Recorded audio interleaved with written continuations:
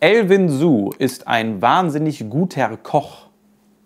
So fängt's an. Wir machen heute den 6-Stunden-Burger von Elvin Su. Ihr kennt das vielleicht schon von den 24 Stunden Chicken Nuggets, die ich mal gemacht habe. Das ganze Konzept, dass man sehr lange ein Gericht verfeinert. Heute ist der 6-Stunden-Burger dran. Max hat sich, glaube ich, da auch schon mal bedient und hat, ich glaube, die 100 Stunden Lasagne, glaube ich, gemacht von Elvin. Wir haben schon mal die Nuggets, wie gesagt, gemacht. Die waren fantastisch. Und bei Burgern, da werde ich natürlich ganz schön hellhörig. Da gehen wir systematisch jetzt durch. Es sind sozusagen vier Kapitel, durch die wir durchgehen. Das erste ist das Fleisch. Das zweite ist eine Zwiebel ja, Soße nicht, aber ja, kommen wir dann dazu. Ich weiß nicht, wie man es genau nennt, aber ihr werdet es mit mir rausfinden. Und Nummer drei ist die Soße.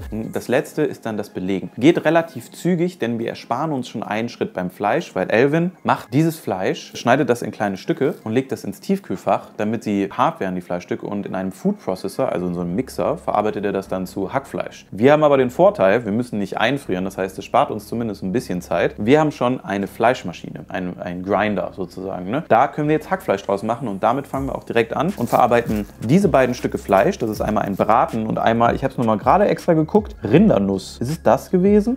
Weiß ich nicht. Zu Hackfleisch. Das ist fettiges Fleisch, das war die Empfehlung, ungefähr das Äquivalent. Wir haben dann mit unserem Metzger drüber geredet. Ich würde sagen, let's grind. Und dann geht's los mit dem Hackfleisch. Machen wir ein paar schönen Shots, würde ich sagen. Ne? Let's go.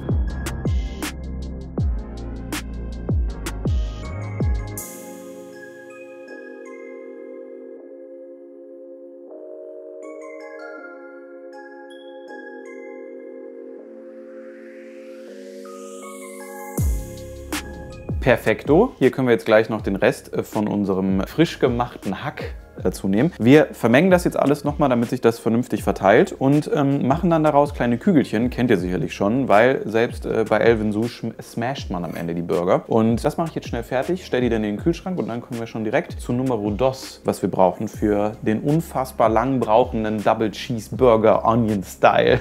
Von daher, let's Bällchen. Ich mache jetzt erstmal alles in eine Schüssel, ein bisschen umzumischen hier.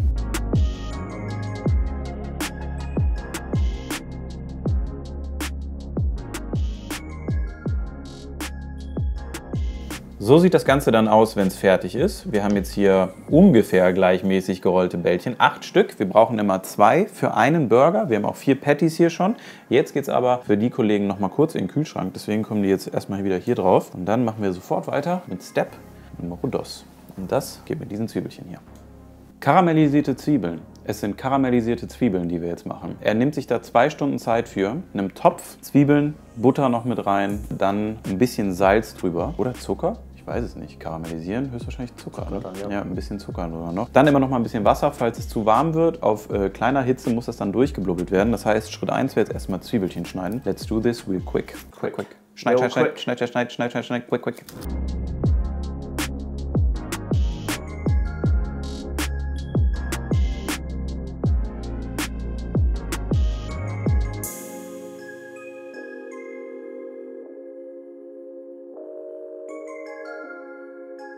Das hat nur eine coole Brille und äh, Dings gebraucht, aber so schnell kann es gehen. Wir fangen jetzt an. Butter wird karamellisiert. Das geht einfach, indem man Butter ein bisschen wärmer äh, aufköcheln lässt. Dann wird die so schön braun. Also braune Butter machen wir sozusagen draus. Habe ich karamellisiert gesagt? Ich glaube ja, schon, ne? Das ist komplett falsch gewesen. Ich mache einfach nur braune Butter da draus. Oh, richtig schön. Richtig schönes, dickes Stück Butter, Miguel. Geht noch was. Oh, da geht noch was. Jetzt komm mal her.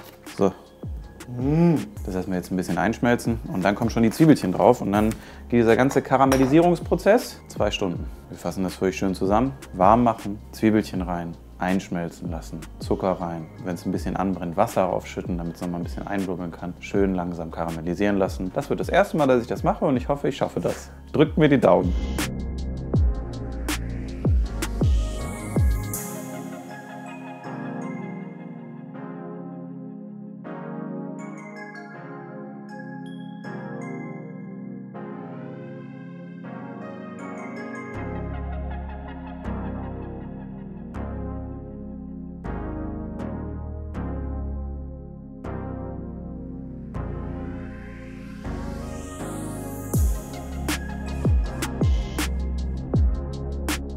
Das hier ist jetzt aus unseren vier Zwiebeln geworden. Das ist echt voll crazy, ne? Karamellisiert bis ähm, äh, zum Ende. Ich habe immer wieder, wie gesagt, ein bisschen Wasser nachgeschüttet. Ihr habt es ja gerade alles gesehen. Und das ist jetzt unsere karamellisierte Zwiebelpaste. Jetzt brauchen wir nur noch eine Sache. Wir brauchen noch eine Soße und da machen wir schnell eine selber.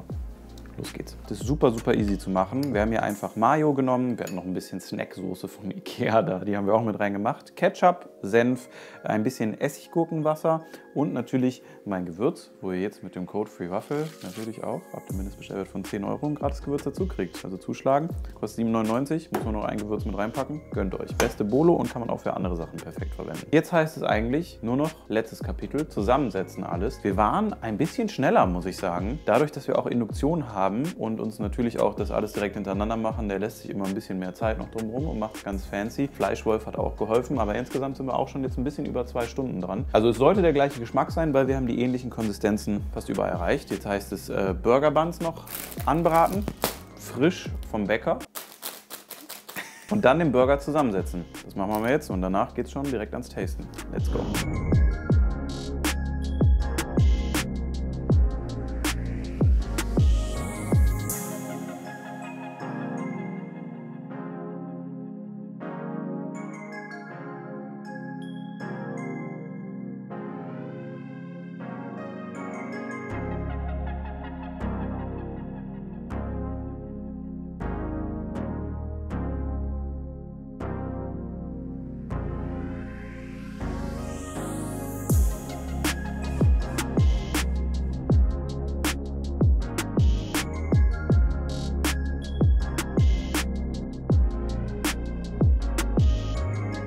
Der Burger ist fertig, er steht schon hier. Zusammensetzen ist natürlich super, super easy. Wir haben äh, die beiden Burger Buns angebraten, nochmal hier mit Butter. Danach natürlich unser selbst gewolftes Fleisch gesmashed, gewürzt von beiden Seiten, Käse drauf, den Bun mit Soße nochmal verziert und ein, einwickeln lassen, bitte. Die Onions. Und danach am Ende kommen nämlich unsere karamellisierten Zwiebeln oben drauf und dann sieht das ganze Ding hier so fucking böse aus. Dazu gesagt, wir waren jetzt deutlich schneller. Das äh, liegt natürlich daran, dass Elvin gerne auch mal Sachen äh, darauf wartet, ne? wie zum Beispiel, wie ich erklärt habe am Anfang, das Fleisch. Die Zwiebeln waren bei uns anstatt zwei Stunden innerhalb von jetzt anderthalb Stündchen oder sowas um den Dreh am Start. Am Ende haben wir auch das Ganze nochmal gemacht. Also ich glaube, wir haben es so ein bisschen fast halbiert, ein bisschen drüber über der Hälfte sind wir schon noch, aber der Geschmack sollte identisch sein. Das erste Mal karamellisierte Zwiebeln für mich, auch Premiere. Okay, dann ein Schnitt. Boah, das saftet daraus. Oh mein Gott. Durch dieses Gerätchen hier. Guck dir das mal an. Alter Verwalter. Und mal wieder ein geiler Burger ohne Salat. Bleibt einfach das gleiche. Boah, ich kann nicht mehr. Ich, bin, ich zerlaufe gerade wirklich. Das ist amazing. Let's try.